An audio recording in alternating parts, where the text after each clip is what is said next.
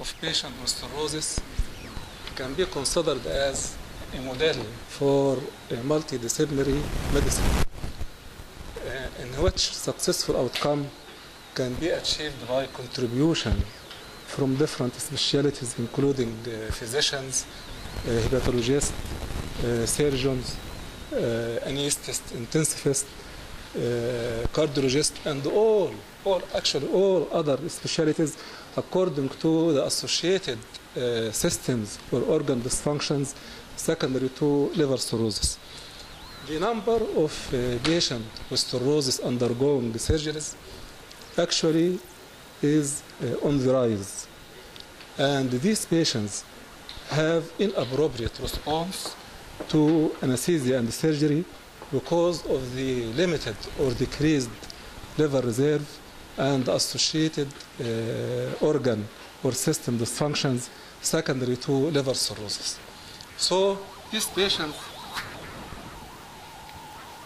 have uh, uh, a high risk of post-operative morbidity and mortality in the form of uh, poor wound healing, uh, coagulopathy,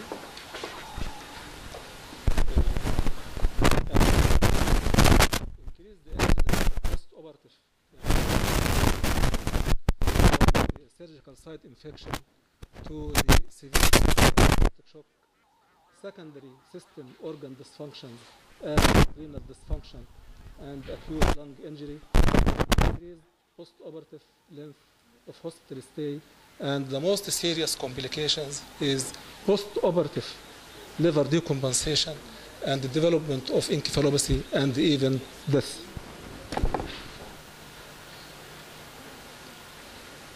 The high risk of post-operative morbidity and mortality. Can be predicted or tailored to number one, severity of liver dysfunction or severity of the cirrhosis, the associated or number of systems uh, dysfunctions secondary to cirrhosis as hepatorenal syndrome or hepatopulmonary syndrome, the type of surgery and the class of surgery, whether elective or emergent surgery, and the ASA or American Society of Anesthesiologists physical status. The role of the anesthetist in the management of patients with cirrhosis undergoing surgery is conduction of careful pre-anesthesia assessment of risk and share in proper pre-operative medical optimization, deliver safe anesthesia, and share in multidisciplinary post-operative care, which should be structured and planned.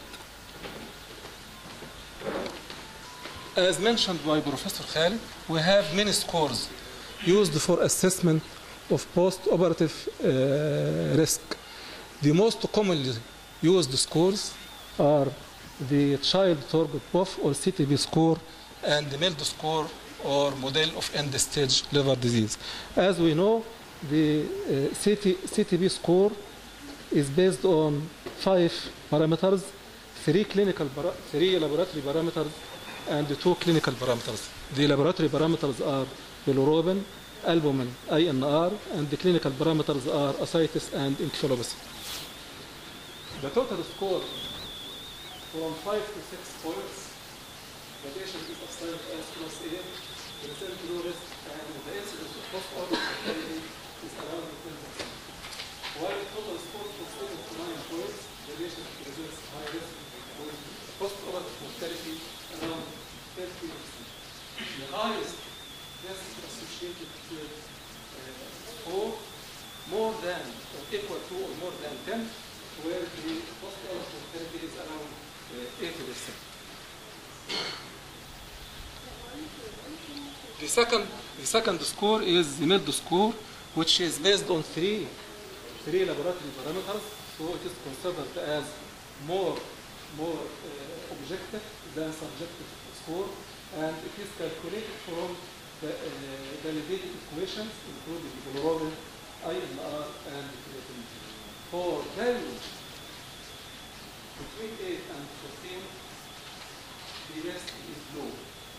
While the risk is high between 15 and 24, for levels of 4 higher than 24, the, the patient presents highest risk for post-operative morbidity and, and mortality. what is the evidence for risk of patient undergoing cirrhosis in the literature? In one study conducted by Belbo et al., they compared between 135 patients compared to 86 patients without cirrhosis as a control group. They found that they found that the incidence of 30-day mortality around 16% in patients with cirrhosis compared to 5% in the control group.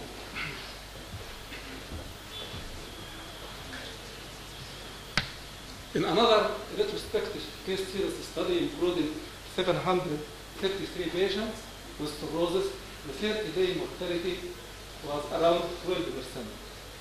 In multivariate analysis for the risk factors of post-operative mortality, they found that risk factors are CTB class B or C, ASA class 4 or 5, preoperative infection, gastrointestinal bleeding, ascites, and intraoperative hypotension.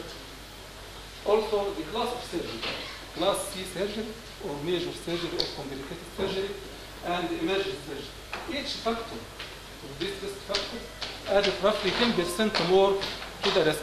So, with the presence of four factors, the post-operative mortality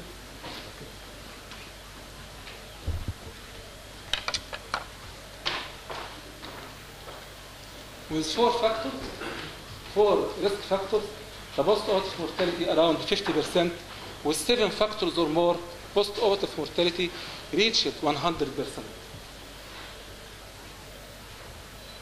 In another study uh, conducted by Mansour et al., they found that 100% of patients with cirrhosis undergoing emergency surgery died, with, uh, uh, with median survival two days. Also comparing between the values of milk as a predictor for post-operative mortality, they found that 30-day mortality was around 5 to 7 percent if milk less than 8, and 80 percent if milk score higher than 20. In another study conducted by Tim et al., when he added albumin as a risk factor less than 2.5 gram per deciliter to MELD higher than 15 percent, the, post, the 30-day mortality increased from 29 percent to 60 percent, considering the importance of low albumin level as a predictive factor for post-operative uh, mortality. In another study compared between uh, uh, CTB and MELD as a predictive for post-operative mortality, they found that 30-day mortality of CTB class A corresponding to MELD less than 10%, and CTB class B corresponding to MELD 10 to, 4, 10 to 15%, or less than 15%, and CTB class C corresponding to MELD higher than 15%. Also, uh, uh, multivariate analysis were conducted to evaluate the every factor alone as dependent or independent factor.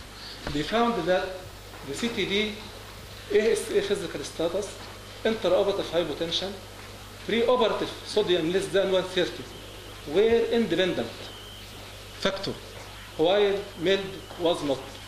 Also, they found that CTB was considered as predictive in emergency surgery, while the MELD was not. Based on the previous uh, evidence from the literature, it is clear that patients with cirrhosis undergoing surgery are at high risk of post-operative morbidity and mortality, especially CTD class B or C, or C score higher than 14, American Society of Anesthesiologists class 4 or 5, and class C and or emergency surgery. So how can post-operative morbidity and mortality be reduced. Number one, we have to stratify the patient by conduction of uh, careful preoperative assessment of risk in order to stratify the risk of the patient and exclude patients who should not undergo elective surgery. So CTB class C, there is consensus that CTB class C should not undergo elective surgery. Also class A or B should be medically optimized before elective surgery. And if possible or when possible or feasible, less invasive intervention uh, uh, uh, interventions are better recommended, especially in class uh, A or B. Also, preoperative medical optimization and deliver safe anesthesia. And finally, uh, well-structured and planned multidisciplinary post-operative care. The pre-operative medical optimization, the aim is to uh, improve the general condition or the hepatic conditions to shift from class C to class B or from class B to class A or prevent the risk factors associated with high incidence of post-operative morbidity and mortality. Special, special consideration should be paid to coagulopathy, ascites, and encephalopathy before, before surgery.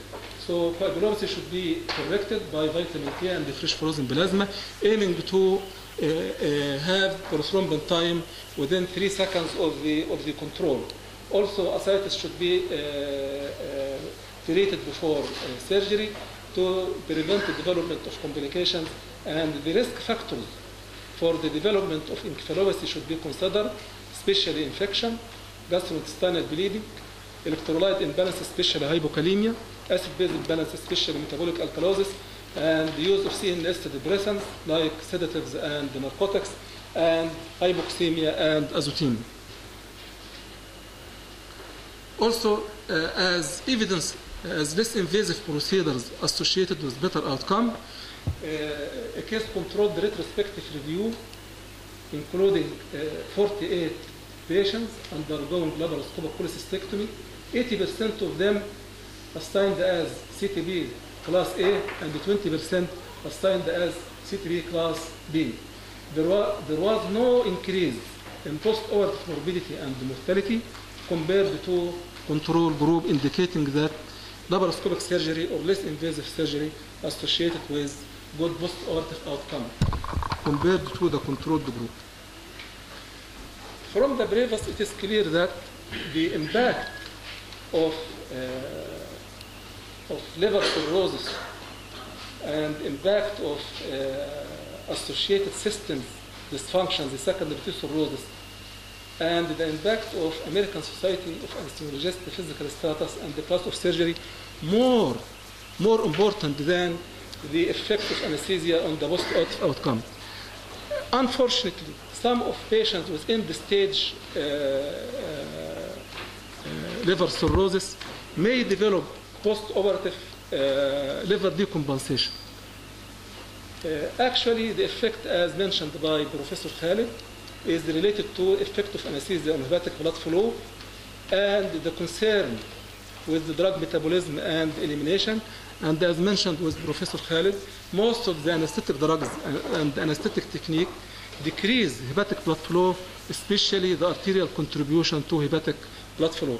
However, the recent inhalation anesthetics like isoflurane, sevoflurane, and desflurane have the least effect on the hepatic blood flow compared to the old uh, inhalation anesthetics like halothane.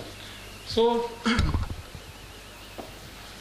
the well-conducted anesthesia technique, which is not associated with the risk factors as mentioned before, including hypoxemia, hypo, hypocarbia due to uh, hyperventilation, hypercarbia due to hypoventilation, or low arterial blood pressure, or light anesthesia or hypothermia, and use of safe anesthetic drugs, including propofol, fentanyl, or, or, uh, or sevoflurane, new muscle relaxant like tritium or cisatracurium are associated with good uh, post-operative uh, outcome. So the multidisciplinary post-operative care include the factors which cause or which may precipitate post, uh, post-operative liver decompensation. So signs and symptoms of liver failure should be monitored and addressed.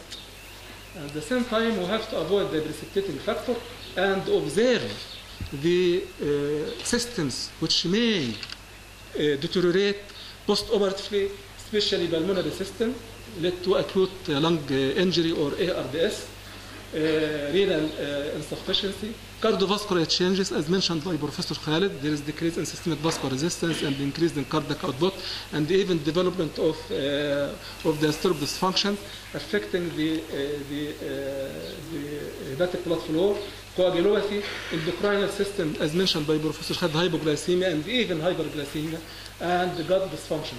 And uh, nutrition, nutritional uh, status should be assessed and we have, or it is recommended to start early enteral nutrition, which is associated with less incidence of post-operative uh, uh, nosocomial infection. Finally, we have to uh, uh, uh, allow for general care. We, as uh, any patient or critically ill patient, we have to consider the uh, uh, or follow the ABC uh, approach for management of any critically ill patient. So we have to give concern for airway, for it should be patent and breathing should be regular and adequate. Ventilation should be effective. Intravascular volume should be optimized. Perfusion should be uh, effective. And we have to uh, uh, maintain normal electrolyte and acid-base balance. And we have to consider the effect of positioning, maintaining normal temperature. This is the general care. And also we have to consider the risk of venous thromboembolism. So we have to conclude patients with cirrhosis are at high risk of perioperative morbidity and mortality. Elective surgery is contraindicated in patients with cirrhosis, especially CTB class C or MELD score higher than 24, ASA physical status class 5, presence of severe cardiomyopathy secondary to cirrhosis, and decompensated liver disease.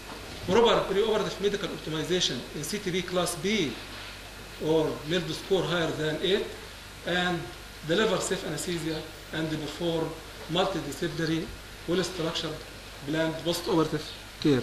Thank you very much. Uh, Thank you, Professor Salah, for this very scientific presentation. Uh, I think that there is no problem in elective surgery.